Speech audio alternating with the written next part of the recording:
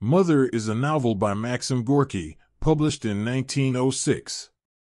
The book is set in late 19th century Russia and follows the life of a working class woman, Pelagia Nilovna Vlasova, who is known as Mother by her son Pavel Vlasov, who was a revolutionary. The novel chronicles her journey from a politically apathetic woman to a radical supporter of the revolutionary movement.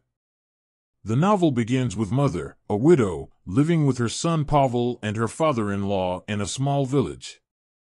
She is a hard-working woman, but her life is one of poverty and struggle. Pavel, a university student, returns home after being expelled for his revolutionary activities.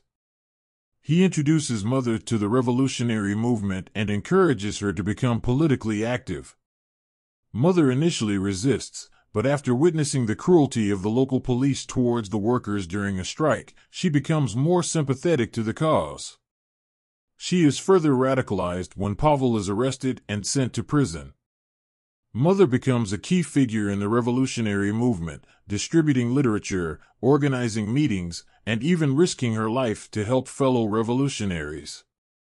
The novel explores the conflict between the revolutionary movement and the czarist government. The revolutionaries are portrayed as heroic figures fighting for the rights of the working class, while the government is depicted as oppressive and cruel. The novel also examines the internal struggles within the revolutionary movement, with different factions arguing over tactics and goals. As Mother becomes more involved in the movement, she begins to clash with her father-in-law, who is a conservative and loyal supporter of the government. This conflict comes to a head when Mother's house is raided by the police, and her father-in-law is beaten and arrested.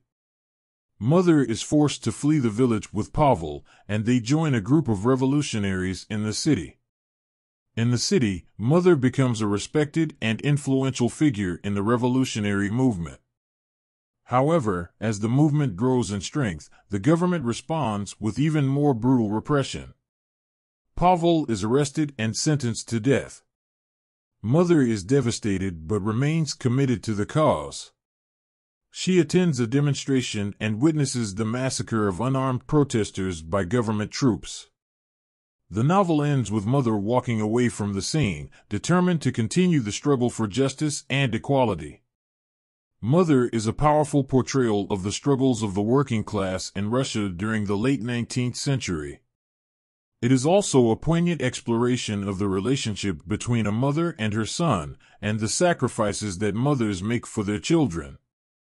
The novel's themes of social justice, political activism, and the struggle against oppression continue to resonate today.